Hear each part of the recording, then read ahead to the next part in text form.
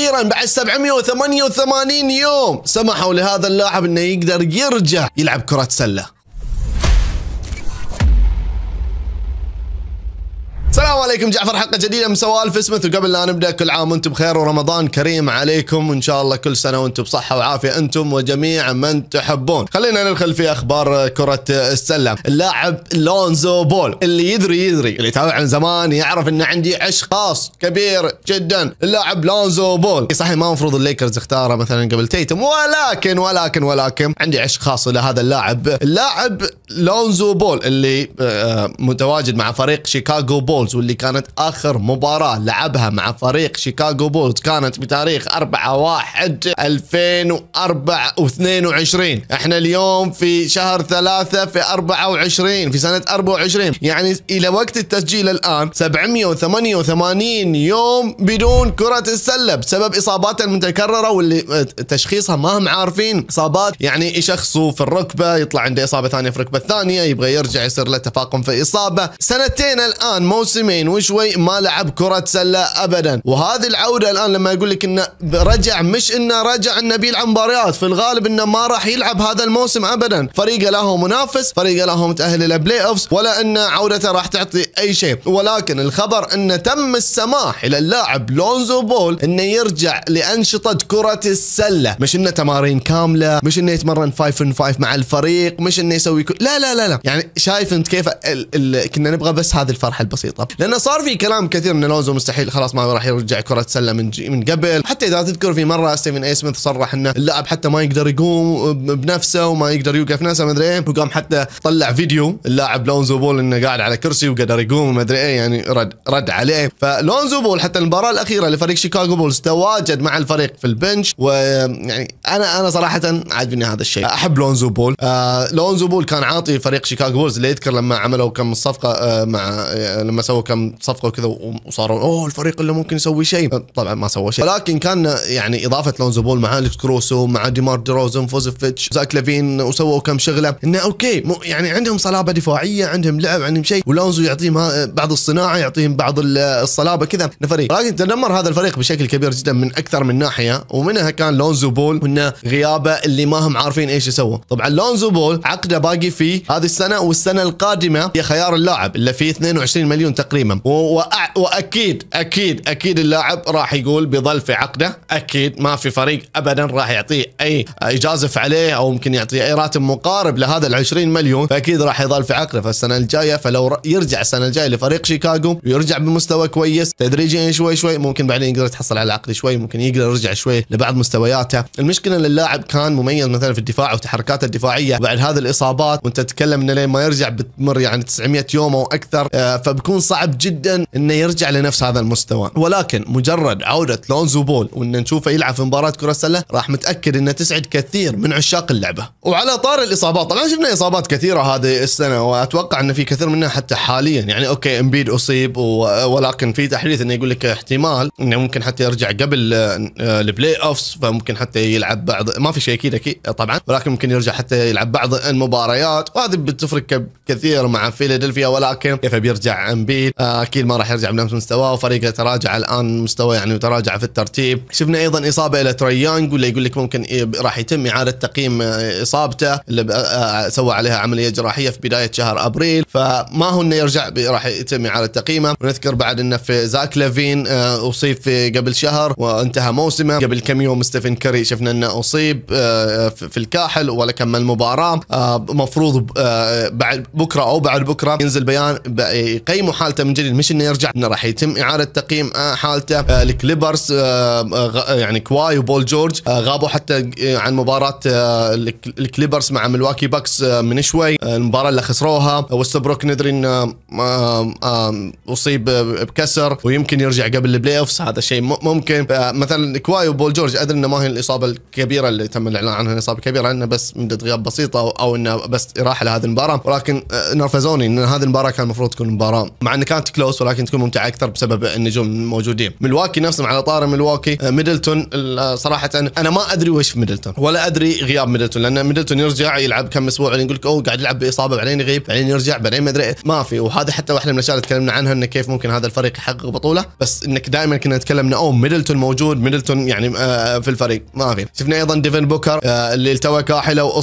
وأصيب وقاعد يغيب عن بعض المباريات وكيف ممكن يتأثر فريقه. يعني انتصر بعض المباريات بدونه وخسر بعض المباريات بدونه زي المباراه الأخيرة ضد فريق السلتكس خسرها انثوني ادوارد مثلا اللي قاعد يبدع في مباريات ونفس المباريات اللي يبدع فيها يصاب يعني المباراة اللي ضد إنديانا بيسرز اللي عمل ال block التاريخي ال block من أفضل البلوكات اللي ممكن نشوفها بحياتي. قفزه خرافية لدرجة إن راسه طخ في الحلق. مش إنه بس صار على الحافة لا طخ في الحلق طخ يعني. في هذه المباراة من أول هجمة مفصله متعور تحس إنه خلاص مستحيل يرجع وما هي أول مباراة إنه يصير في شيء المفصل عنده ويقدر يرجع ما كم بيقدر يتحامل على هذا الشيء إنه إذا تكرر عنده هذا الشيء ولكن إنه موجود نفس الفريق كارل أنتوني تاونز اللي أصيب وعملوا له عملية وقاعد يقول لك إن الأمل الآن إنه يرجع مع بداية ال playoffs ممكن ها؟ ممكن. هذا الشيء بيأثر على هذا الفريق بيأثر على ترتيبهم ممكن. آه وبنتكلم عنهم على موضوع الترتيب بعد شوي. النكس مثلا كانوا ماشيين بطريقة صحيحة لين بعدين فجأة إصابة أوجي أنونوبي جوليوس راندل وميتشل كلهم إصابات مختلفة ومدة غياب وقاعدين يغيب عن هذه المباريات فحتى تأثر فريقهم تأثر بالترتيب وقاموا يخسروا كثير من المباريات بعد ما كانوا ماشيين برتم متصاعد كبير جدا. آه الليكرز الليكرز نص الفريق آه في injury report تقدر تدخل على الموقع. injury report يبين لك اللاعبين لا day to day أو إنه questionable أو إنه out إنه إصابات وكذا. الليكرز نصهم في هذه القائمة. نصهم out نصهم day to day مثلا ليبرون شفنا إنه غاب عن المباراة الأخيرة اللي فازوا فيها الليكرز على ملواكي بكس يمكن يرجع يلعب ضد مينيسوتا تمبروولفز اللي بتلعب بعد شوي. وأنتم تشاهدوا ممكن تعرفوا إن إذا لعب ليبرون جيمس أو إنه أيضا إذا فاز الليكرز بإذن الله في هذه المباراة أو خسر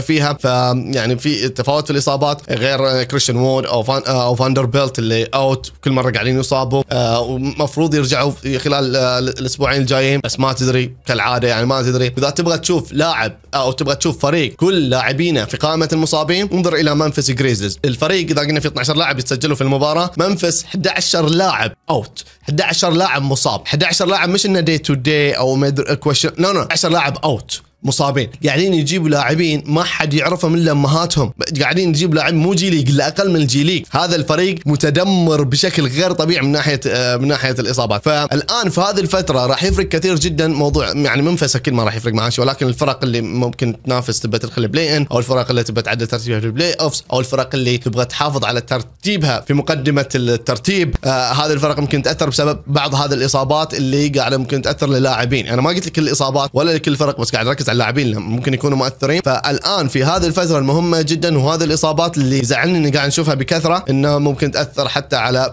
بعض هذه المواضيع في الترتيب وهذه الأشياء. طيب خليني أتكلم شوي على موضوع ال MVP وبعض الأرقام المميزة جدا. أنا صراحة اللي خلاني أتكلم عن الموضوع الشيء الخرافي المميز جدا اللي قاعد يسويه الخارق لوكا دونتش لوكا سوى شيء ما صار في التاريخ من قبل. إحنا نعرف إيش هو ال triple double. ال triple double إنك تسجل زائد 10 في ثلاث خانات زي النقاط زي ال assist زي ال rebound ال block وال steals. في أي من ها من هذه الخمس خانات تسوي في زائد 10 في ثلاث منها هذا يعتبر triple double. لوكا دونتش سوى رقم قياسي. إنه جاب ستة triple double في ستة مباريات متتالية ب 30 نقطة. 30 نقطة. الرقم كان خمسة وكان خمس مباريات متتالية كان مسوي لنا راسل ويستبروك في سنة 2017 اللي هي أول سنة حقق اللي هي السنة اللي جاب فيها ال MVP والسنة اللي حقق فيها معدل triple double لأول مرة قبل ما بعدين كرر ثلاث سنوات متتالية. في هذه المباريات لوكا دونتش المشكلة وين؟ إنه خسر يعني كان خسران ثلاث ورا بعض وهو قاعد يحقق هذه الأشياء حتى في صورة نبين عليه زعل كبير جدا. يعني قاعد يحقق أرقام إنه يسجل 39 و38 و35 وفريقه قاعد يخسر. بين عليه في لقطة إنه كيف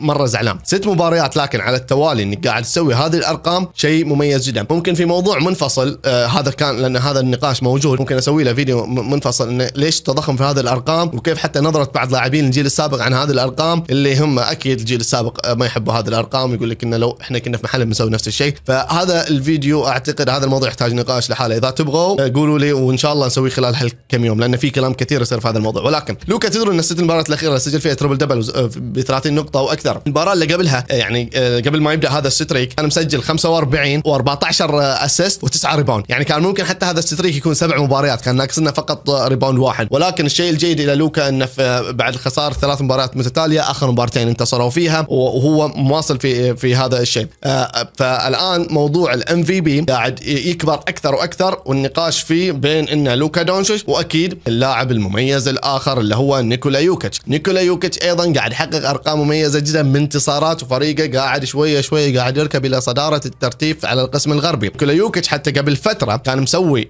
ثلاثة أو أربعة triple double على التوالي وقاعد يحقق فيها 15 15 يعني زائد 15 مو بس زائد 10 زائد 15 في كل الخانات وهذا شيء غير طبيعي. إحنا لما بس تجيب العشرات ونقول oh wow amazing كيف إني قاعد أجيب 15 ال 15 هذه؟ فنيكولا يوكيتش أيضا قاعد يقدم أرقام مميزة جدا وقاعد يعطي فريقه انتصارات. حتى أكبر مثال اللي يعني جاب هذا جاب هذا الموضوع إنه في مباراتهم آه، ضد بوستون سلتكس كنا نقول إن الآن جيسون تيتوم وناس تناقش MVP بما إنه في الفريق الأفضل في الدوري اللاعب الأفضل هل هو ال MVP ولكن وضح كيف اهم يعني فرق جودة اللاعبين. نيكولا يوكيتش وجيسون تيتوم وما أتكلم فقط على إن جيسون تيتوم ضيع تسديده اخيره أو كان سيء في هذه المباراة أو بسبب إنه خسروا المباراة ضد كليفلاند. لا لا رجعوا فازوا على فينيكس والفريق المميز راح يقدر يرجع طريقه إلى انتصارات. ولكن وضح الفرق. كيف بين مثلا لوكا دونتش أو إن نيكولا يوكيتش وبين جيسون تيتوم. آه يعني هذاك عنده أكيد الفريق الأفضل السلتكس ولكن جودة اللاعبين الأوقات الحاسمة وقت الظهور هذه تفرق في نواحي التصويت جدا. جيسون تيتوم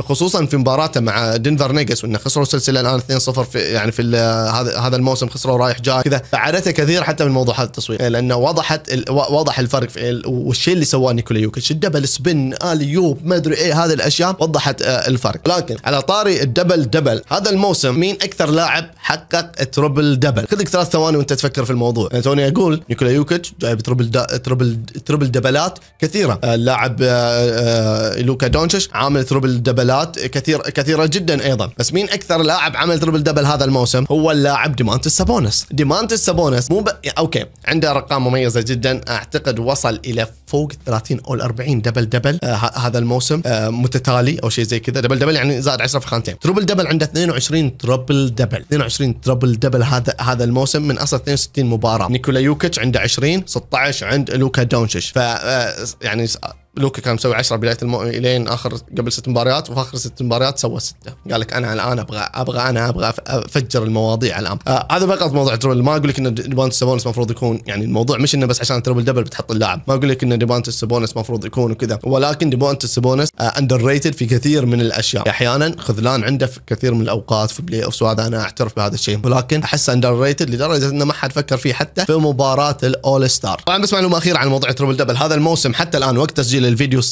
صار في 103 triple double هذا الموسم. 58 منها من سابونيس يوكيتش ولوكا دونتش 58 يعني أكثر من النص من بس من هذول الثلاثة لاعبين. طيب خلينا نتكلم على موضوع الترتيب. إذا تطلع على ترتيب القسم الشرقي سهل جدا. في فريق في الصدارة لحالة ما حد تقريبا راح يوصله وحتى لدرجة أن بوستن سلتكس مبتعد عن الجميع. السلتكس لو يخسر كل مبارياته راح يدخل playoffs يعني لهذه الدرجة. وصل يعني باقي الآن 18 آه، مباراة كل الفريق أو شيء لأن ضمن ضمن إنه حتى يدخل playoffs من الآن. ما شاء شاء الله عليهم ما شاء الله عليهم. اللهم لا حسد اللهم لا حسد. عموما عندك كليفلاند وملواكي قاعدين يتنافسوا على المركز الثاني. كلهم بنفس السجل تقريبا بنفس السجل يعني. قاعدين يتنافسوا على هذا المركز. ولكن عندك من المركز الرابع إلى الثامن تقارب كبير جدا. الفارق مبارتين إلى مبارتين ونص بين نيويورك أورلاندو ميامي فيلادلفيا وإنديانا. هذه الفرق تقريبا يعني متقاربة بشكل كبير جدا. مبارتين مبارتين ونص. وعندك آه يعني آه فرق قاعدة تعمل streak ات مميزة في الفترات الأخيرة. تكلمنا من شوي عن نيويورك انه بدأ يتراجع مستواه وقاعدين يخسروا أكثر ما قاعدين ينتصروا. ولكن في فريقين المباريات الأخيرة قاعدين يحققوا انتصارات. أوكي ميامي خسروا آخر مبارتين صحيح ولكن قاعدين يعملوا سجل ممتاز. أورلاندو ماجيك آه، فايزين ثمانية في آخر عشرة وقاعدين يقدموا مستويات ممتازة وبانكير يقدم مستويات ممتازة. ولكن ما عندك هذه الثقة يعني سواها بداية الموسم انه كذا بس أرجع لميامي هيت. فريق ميامي هيت اللي يخوف الجميع. انه playoffs وجيمي باتلر قاعد يبدأ وأرجع أقول صحيح خسروا آخر مبارتين ولكن جيمي playoff جيمي وما أدري وهذه الأشياء. فممكن حتى يوصل للمركز الرابع. ولكن وجودهم في المركز الرابع أوكي راح يعطيهم آه، أفضلية أرض في الجولة الأولى. بس بيخليهم في الجولة الثانية يقابلوا بوستن سلتكس فيعني تحاشى هذا الشيء تكون سادس أفضل ممكن. ها هل لو كنت سادس بيكون هذا الشيء أفضل لك إنك تتحاشى؟ آه، يعني بتقابل آه، بعدين الثالث بدل ما في الدور الأول صحيح؟ بس الدور الثاني يمكن تقابل الثاني. بعدين تروح إلى بوستن سلتكس هل هذا الشيء أنت تبغاه؟ هل مدري يعني فيها وعليها فيها وعليها أنا ما أحب هذه الحسبات وما أحب الفرق اللي تحاول تتجنب بعض الفرق. ما أحب. يعني ميامي هيت السنة الماضية قال إحنا ما نبغى نتجنب أي فريق أو أو ملواكي باكس اللي سوى شيء وراح. المهم ميامي هيت السنة الماضية المركز الثامن فازوا على الأول فيقول لك مثلا إحنا ما تفرق معانا وكذا. فهذه الأشياء بتشوفها بتغير كبير في المباريات الجاية. ممكن بعد نشوف بعض الفرق يقول لك تبغى تتجنب بعض الفرق وشفناها من قبل. بس أرجع إلى موضوع القسم الشرقي إنه ما في يعني ما في أي إثارة. التاسع والعاشر هم هم شيكاغو وأتلانتا وبعيدين حتى على المركز الثامن آه، اللي تحتهم 11 آه، بعيد عنهم آه، بخمس مباريات اللي هو بروكلين نتس اللي قاعد يخسر بشكل كبير جدا هو مع تورنتو. فما في منافسة إنه أو في فرق ما زالت تبغى تدخل إلى ال play-in من فرق الشرق يعني. وموضوع ال play-in نفسه ترى في القسم الغربي بعد يعني مش قاعد يقول بس الشرق اللي فيه لا حتى الغربي. إنه يعني في 10 فرق الآن هي اللي تنافس الفرق اللي من 11 وطالع حتى يعني فرصتها ضعيفة جدا في بلوغ ال play-in زي مثلا مركز 11 هيوستن يبعد عن المركز العاشر اللي هو جولدن ستيت واريورز بست مباريات فيكون بعيد شوي عن موضوع إنه يدخل playoffs يحتاج أو ال play-in يحتاج شبه معجزة تقريبا. بس قبل لا أدخل في موضوع ال play-in خلني أبدأ من فوق إن الصدارة في القسم الشرقي آه، فيها إثارة غير طبيعية. عندك أو كي سي ومينيسوتا ودنفر ناجتس يعني مع بعض. تلاحم تلاحم غير طبيعي. يفرق أوكلاهوما سيتي ثاندر نص مباراة. يعني انه خسر مباراة أقل منهم. يعني لأن يعني لعب مباراة أقل منهم وخسرها يعني لو يخسر ما أدري بيلعب ضد مين بس لو يخسر هذه المباراة يمكن وقت يفرق الوضع. شوف شايف لهذه الدرجة ممكن بعد وقت التسجيل يفرق هذا الوقت. ما ينزل الفيديو يفرق هذا الوضع. ولكن الآن وقت التسجيل إنه أوكلاهوما سيتي ثاندر نص مباراة. فخلينا نقول كلهم متساويين. كلهم متساويين. أوكلاهوما مع مينيسوتا مع دنفر متساويين بالترتيب. خسارة فريق آه، فوز الآخر تعني تبادل مراكز وكل يوم أو كل جولة راح تشوف هذا الشيء بيصير. وتفرق. إذا كنت المركز الأول على القسم إنه بيكون إنه أنت بتلعب أفضلية الأرض لك دائمه في في في قسمك. ما حد منهم راح يوصل أعتقد إلى فريق بوستن سلتكس عشان لو وصل النهائي. ولكن إن الفكرة إن في كل قسمك أنت عندك أفضلية الأرض. وبتفرق كثير جدا. وبتفرق في نقطة مهمة. تقابل مين على اللي بيدخلوا من ال play-in وهذا شيء مهم جدا أيضا. نتكلم عنه بعد شوي. بس في, في المنتصف عندك المركز الرابع آه الكليبرز اللي بدأ يتراجع شوي في آخر المباريات. يعني في آخر 10 5 5 ويعني كانوا مرتاحين على المركز الرابع. كانوا مرتاحين. نيو أورلينز قرب منهم شوي بس خسر كم مباراه رجع ينتصر. اخر آخر 10 انتصر سبعة. آه يفرق عن ثلاث مباريات. وساكرامنتو قاعد ينتصر بعد في آخر فترة يبين عنهم مباراة ونص. ولكن في تقارب كبير جدا بين آه هذه الفرق. يعني حتى نيو اورلينز بيليكنز الكينجز الفينيكس سانز دالاس مافريكس الليكرز والواريورز في تقارب كبير جدا بينهم. يعني الآن الليكرز كان عاشر بعد مبارتين صعد آه، صار التاسع بعد ما خسر جولدن ستيت واريورز يحتاج إنه مثلا يخسر دالاس مبارتين هو يفوز مبارتين على التوالي عشان يصعد لمركز ثامن. فينيكس يخسر ثلاث ورا بعض والليكرز يفوز ثلاث ورا بعض ودالاس بعد خسران. يصعد. يعني فيها حسبات كثيرة جدا. بس hot streak إلى واحد من هذه الفرق. يعني زي دالاس الآن لو يواصل على منتصر مبارتين آخر ورا بعض ينتصر بعد ثلاث ورا بعض مع خسارة فينيكس مبارتين آه، أو حتى ساكرامنتو ممكن يصعد إلى مركز سادس. من مركز الآن play-in كمركز ثامن إلى مركز سادس يضمن فيه إنه يروح إلى ال playoff بس هذا الشيء اللي تم فيه النقاش إنه مين بيطلع من ال play-in على الحسبة الحالية الآن على الحسبة الحالية لو اليوم لعب ال play-in فينيكس ودالاس هم آه، هم السابع والثامن. فراح يلعبوا مع بعض واللي يفوز بيكون سابع. آه، دالاس مافريكس خلى على جنب الان بيلعب الليكرز والواريورز اللي, اللي يخسر منهم يخرج رسميا واللي يفوز بيلعب مع دالاس على المركز الثامن. فممكن يكون ليكرز ممكن يكون دالاس. أو أو ممكن يكون فينيكس. ففي فيها يعني إثارة كبيرة جدا حتى مين بيقابل. لأن الكلام حتى على فرق زي أوكلاهوما سيتي ثندر ومينيسوتا تمبر اللي ما يملكوا خبرة الناس تثق أو حتى المحللين يثقوا أكثر بانه لو يلعب بالفينيكس سانز أو يلعب الليكرز ويمكن حتى الواريورز يلعب مع أوكلاهوما سيتي ثندر أو مع مينيسوتا تمبر إنه بيكون لهم أفضلية في ال playoff حتى لو ما عندهم أفضلية الأرض. وهذا الشيء شفناه السنة الماضية لما صاحب السجل الأفضل ممفيس لعب مع الليكرز فاز الليكرز. صاحب السجل الأفضل ساكرامنتو لعب مع الواريورز فاز الواريورز فيقول لك إن الخبرة تلعب دور كبير جدا. لو كان المركز الأول دنفر yes I know ما حد يقدر على دنفر. من الأخير ما حد يقدر على دنفر. ولكن في هذا الترتيب تفرق أشياء كثيرة جدا. يعني تخيل إن أنت مينيسوتا مينيسوتا تمبروولفز هل بتقدر تحافظ على مركزك الأول بعد غياب كات؟ والآن يعني خصوصا انه آه، باقي لك ثلاث مباريات مع دنفر ناجتس. باقي لك مباراتين مع الليكرز وباقي لك مباراة مع الواريورز وباقي لك مباراة مع فينيكس. جدول مينيسوتا ما هو سهل. فمع غياب كات الآن ممكن يتراجعوا للثالث بس ممكن يكون الثالث لهم. أفضل من لو كانوا الأول أو الثاني وقابلوا الليكرز أو الواريورز أو فينيكس. طبيعي أنا أشوفها أنا صراحة أعتقد إن هذا أفضل لهم. خبرة تلعب دور ال matchup في ال NBA في في فرق أنت تقدر تفوز عليها بسبب العناصر اللي عندك. the matchup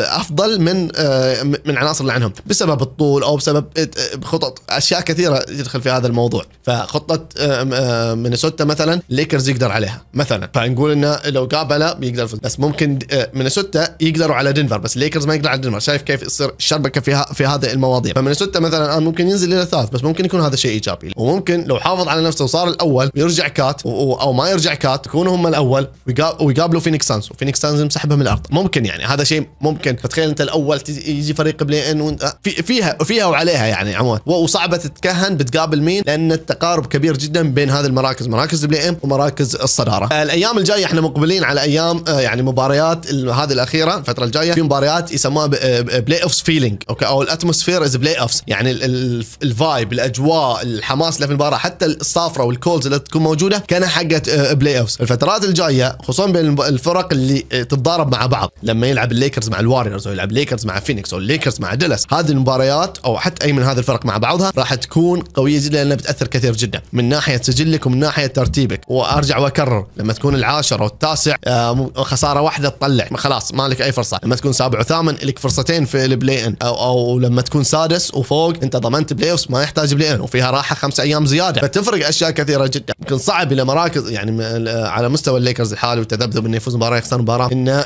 يوصل إلى سادس بس حسابيا موجودة. بس يحتاج ثلاث فرق إنها تخسر ثلاث مباريات زيادة. لها وعليها وبس هذه حلقة سوالف سميث اليوم أنا آسف إذا طولت بس صار لنا ثلاث أيام ما سجلنا فنبغى نطلع كمية آه، كلام آه، كثيرة جدا. أعطونا رأيكم بالأشياء اللي تكلمنا عنها سواء عودة لونزو الإصابات اللي صايرة بالدور الكثيرة آه، مستويات ال MVP نيكولا لوكا تيتوم أي أحد أنت تشوفه ال MVP وأيضا موضوع الترتيب كيف كيف تشوفه مع نهاية الموسم. عموما أعطونا رأيكم. تعليقاتكم مهمة جدا. لا تنسى أي شيء تؤجر عليه. إذا ما عندك شيء تعلق عليه أو أيضا حتى إيموجي. هذا كثير كثير جدا جدا تساعد في مواضيع التفاعل في الحساب وأيضا ال algorithm حقت آه اليوتيوب. لا تنسى ال like لا تنسى الاشتراك في القناة إذا كنت مشترك. ومرة ثانية رمضان كريم علينا وعليكم. يا رب وكل عام وأنتم بخير. يلا كنت معكم رجع الله خير يلا سلام.